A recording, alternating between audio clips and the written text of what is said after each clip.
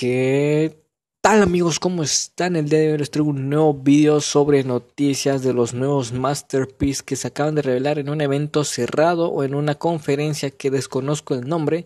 Así que comencemos con las noticias.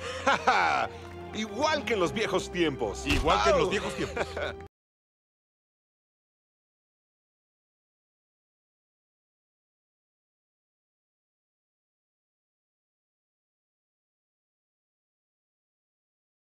les voy a mostrar y lo que estarán viendo a continuación en sus pantallas eh, una imagen sobre el arte o el concepto que tendrá las cajas para los Masterpiece MP8 y MP9 Megatron y Jazz respectivamente. Como verán en el arte de Megatron se puede ver que tiene su brazo mazo medieval se puede decir que como recordarán eh, se estiraba su brazo y lo volvía como un mazo con cadenas y empezaba a destruir todo si no lo recuerdan, aquí pondré un pequeño clip.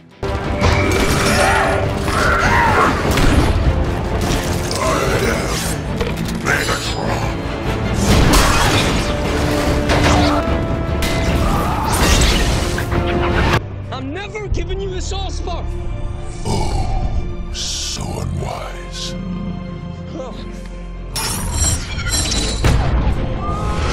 Y por otro lado tenemos a Jazz, juntamente con su metralleta escudo y con una figura no articulada de Sam Witwicky.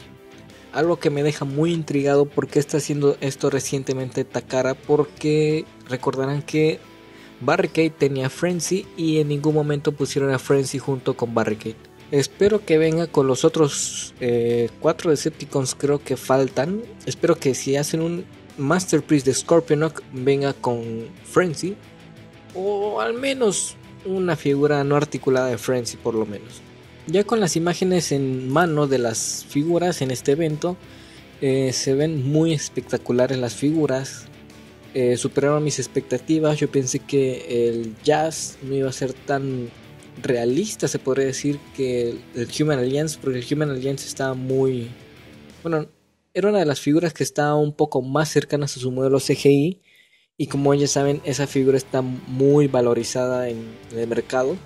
Y esta vez el Masterpiece sí me sorprendió bastante. Pero primero hablemos sobre el MP8 que es Megatron.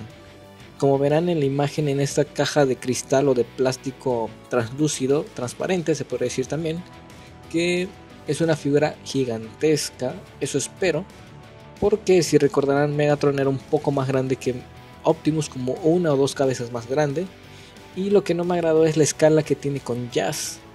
Eh, Jazz, si recordarán, tenía un tamaño pequeñísimo, era más pequeño de la rodilla de Megatron, pero en fin, ya veremos cómo se ven en mano. En cuanto a Megatron, eh, no me agradó mucho la pintura roja, pero detalles que se pueden arreglar customizándolo un poquito. Pero en cuanto al moldeado es excelente, se ve muy similar a su contraparte CGI pero lo que algunos estaban criticando de este muchachón es su mochila que se ve muy abultada. Pero esperemos que esté mal transformado como siempre lo hacen estos chinos, japoneses, coreanos, no sé de qué lugar sean.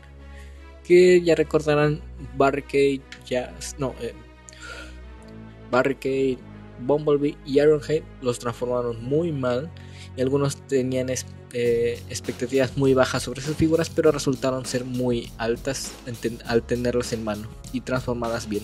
En cuanto al modo Jet Cybertroniano, vemos que tiene un cañón extra que yo supongo que tal vez sea el mazo en cadenas o el cañón que usó Megatron para disparar a Optimus en esa escena icónica que pondré aquí.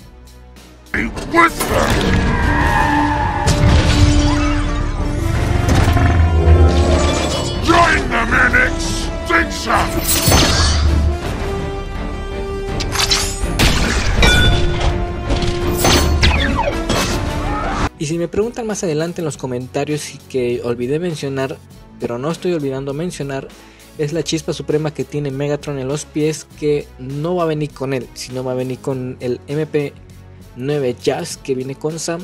Si vieron el arte conceptual que o el arte promocional que ya mostré al principio, Sam está corriendo con la chispa suprema. Esto quiere decir que es removible la chispa suprema para poder representar la escena cuando se le insertan en el pecho a Megatron como a continuación verán. No, Sam!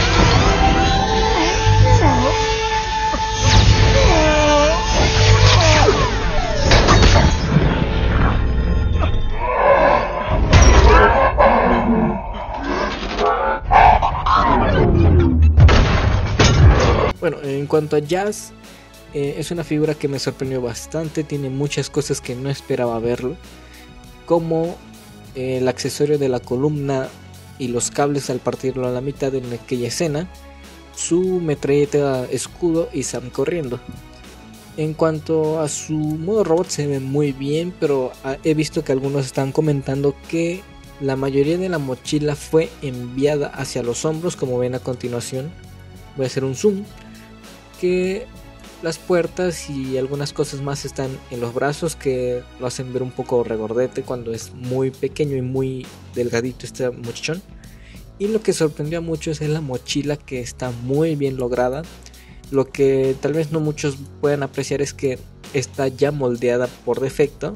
Está en, en paneles que más o menos está es más o menos similar al Challenger o al Lockdown de Unique Toys que eran paneles que se movían, se colapsaban y formaban la espalda que ya estaba moldeada. Y es un detalle muy bueno. Y lo que me sorprendió es que lograron poner los neumáticos o ruedas dentro de los pies como estaba el modelo CGI, algo que pensé que era imposible recrear. Pero fue muy bonito ver esto. Y aparte también lograron poner los faros delanteros del, del auto en los brazos algo que los demás ya no lograron, exceptuando el de la primera película que era el deluxe. Porque los, los demás usaban eh, las puertas y moldeaban como una especie de faro o de plano usaban los vidrios de la puerta como si fueran los faros. Y a continuación verán que la intersección de la cintura con el pecho y esa eh, y ese accesorio que son como una columna vertebral y cables se puede conectar al partirlo a la mitad para recrear esa escena icónica de su muerte en la primera película que verán a continuación. Oh, God, Megatron, come here, cretin. You want a piece of me? You want a piece? No, I want two.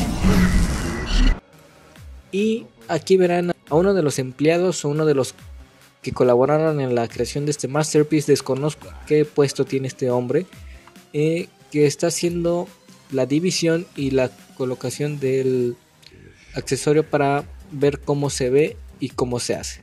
Así que disfrútenlo.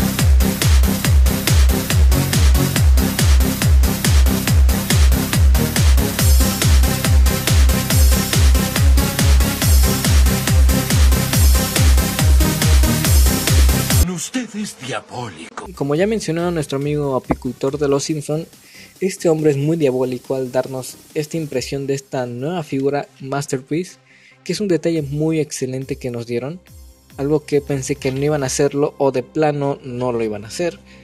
Y eso sería todo amigos, amigas, recuerden suscribirse, dejar un like, recuerden compartir este video para que le llegue a más personas que no estén informados y que este video también llegue a bastantes personas para que sepan informar y conozcan el canal porque de vez en cuando subo noticias y cada semana, más o menos cada lunes estoy subiendo un review, así que hasta pronto, bye.